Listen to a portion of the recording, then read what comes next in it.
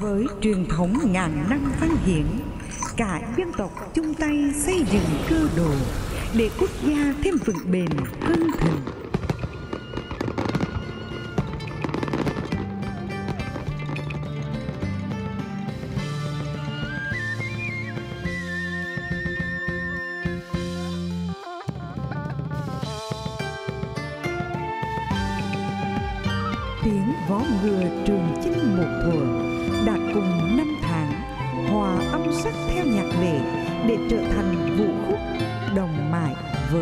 Thời gian.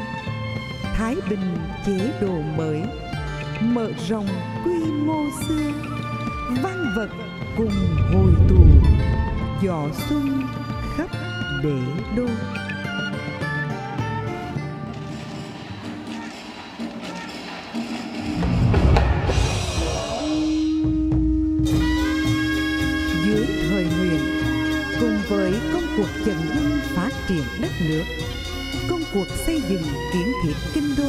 Xuân đã được chú trọng. Nhiều công trình kiến trúc liên tục đã được xây dựng, củng cố vào các triều vua nguyễn nhằm phục vụ bộ máy hành chính của triều đình cũng như sinh hoạt của hoàng gia. Đó là ký ức lịch sử về kinh đô một thuở. Để hôm nay, những giá trị vật chất đó đã mãi mãi là di sản văn hóa nhân loại.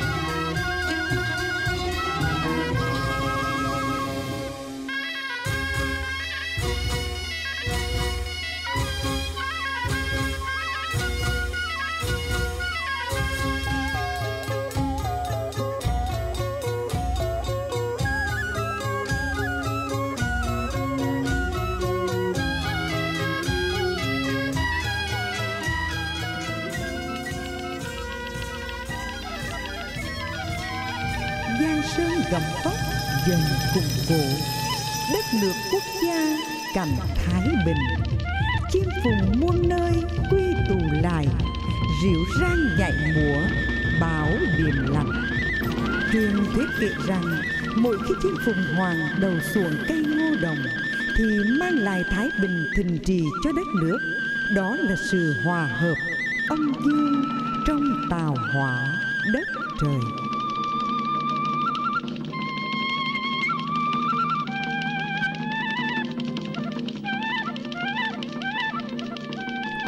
Của nhạc lệ cung đình theo thời gian, vẫn lắng cùng nhân thế về một dân tộc văn hiến rực rỡ, một quốc gia từ cường để muôn đời tiếp nối và trao truyền hồi tụ. Giấy nghiệp văn thôi vỏ lúc biển lặng sóng yên, nghi thức theo điện lệ lệ nhạc cử uy nghiêm.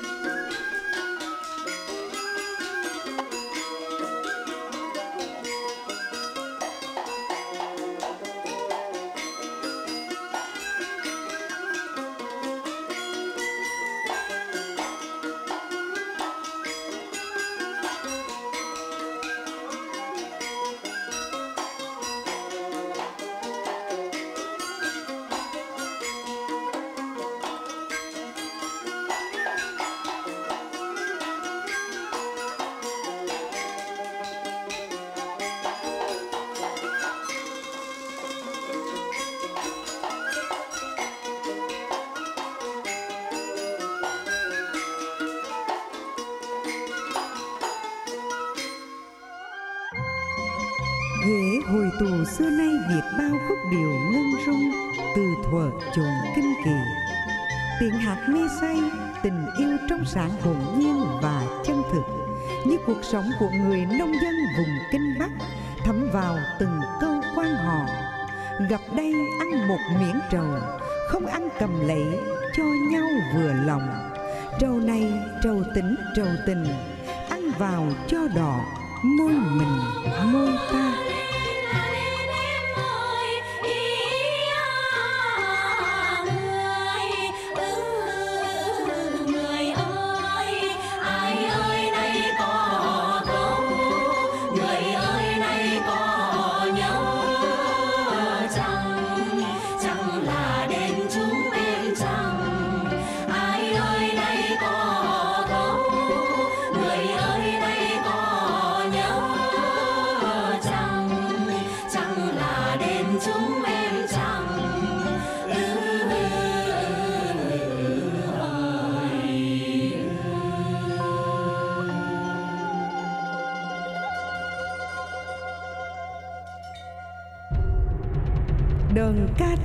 Nam Bộ là loại hình nghệ thuật gắn liền với mọi sinh hoạt của dân cư Nam Bộ. Các bài bản của đơn ca tài tử được sáng tạo dựa trên cơ sở nhạc lệ, nhạc cung đình, nhạc dân gian miền Trung và miền Nam. Đất lành chim đậu dung dương tình yêu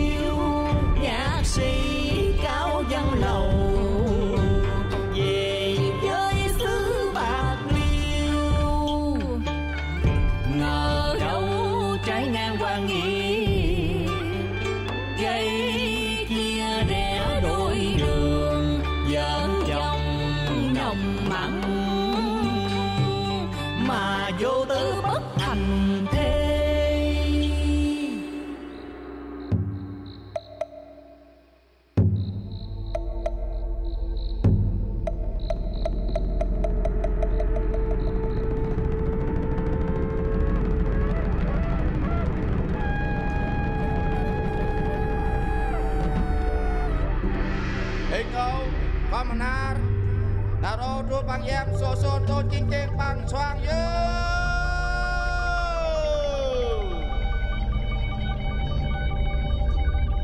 อันนี้ฮักกุมเตรก็ยางกางทอบเสเรตุนนายจรายไปโซแอาดับเดร์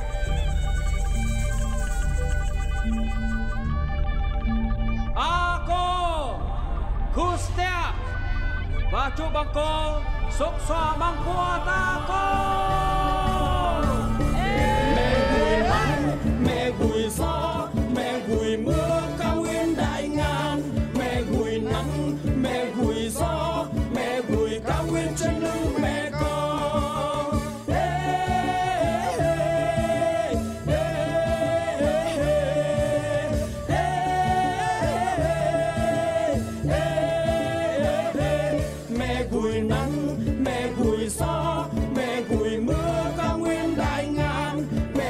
nắng mẹ gùi gió.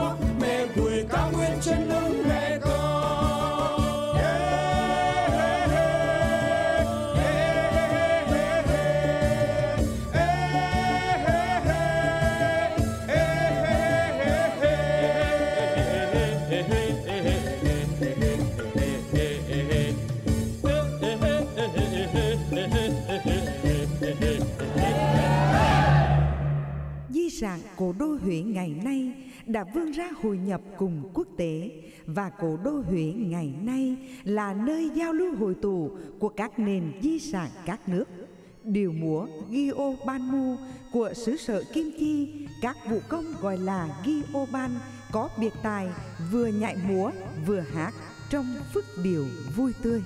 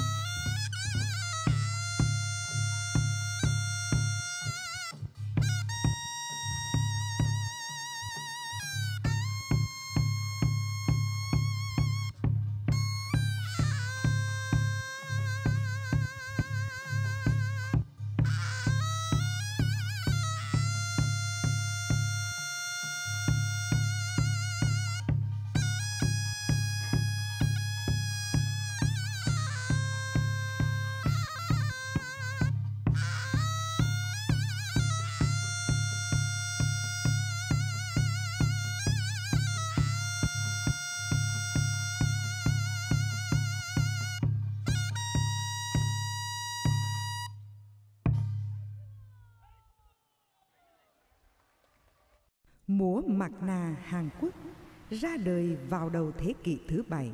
Nghệ thuật múa mặt nà có liên quan mật thiết và được sử dụng trong các nghi lễ Phật giáo.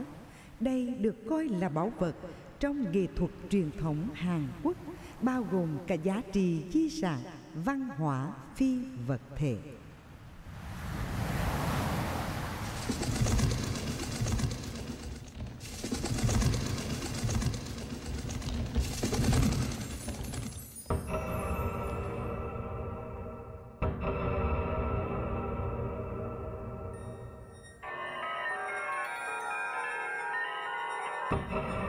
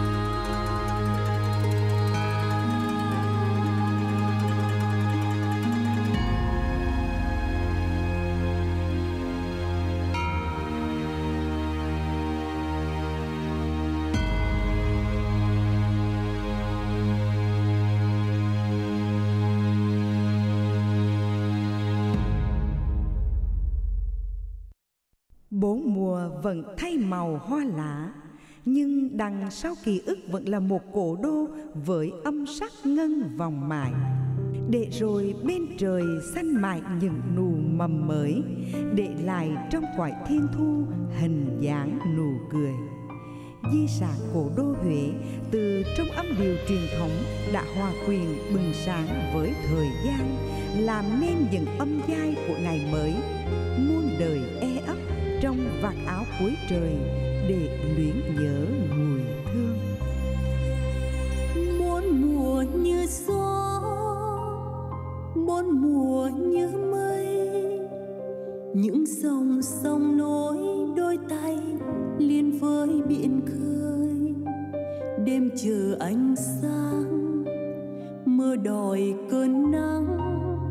Mặt trời lấp lánh trên cao vừa xa vừa gần.